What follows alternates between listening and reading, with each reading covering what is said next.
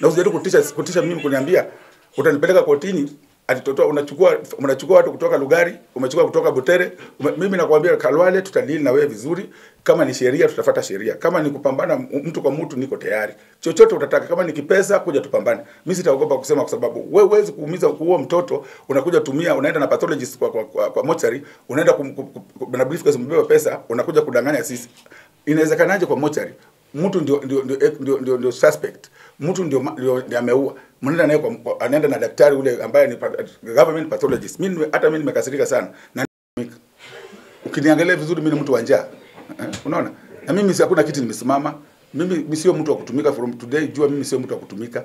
Wao hata huyo governor anaweza kuja kwangu niambie nina njaa, lakini siwezi kwenda kwako kumwambia niko na njaa, unaona. So mimi siwezi kutumika, na mimi nasimamia haki, na haki yangu ni kwamba tupate ukweli ya hiyo mwili iliuliwa namna gani na mimi mwenyewe nilikuwa nimesema hata niliambia DCI wa Ikolomani, mimi mwenyewe nataka tutafute pathologist na wakaharakisha vitu.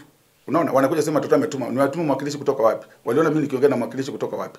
Unaona? So wao wanafanya vitu zao huko wanakuku huko, wanafikira mimi nitakubali. Sitakubali. Na niko ready. Kama nikwenda kotini wanipeleke. Kama wanaona mimi na makosa wanipeleke. Na nimesema Khalwale, wewe utaikuwa governor wa Kakamega. Na nikiwa mzima Khalwale, wewe hauna qualities na ya kuwa, kuwa, kuwa governor Kakamega.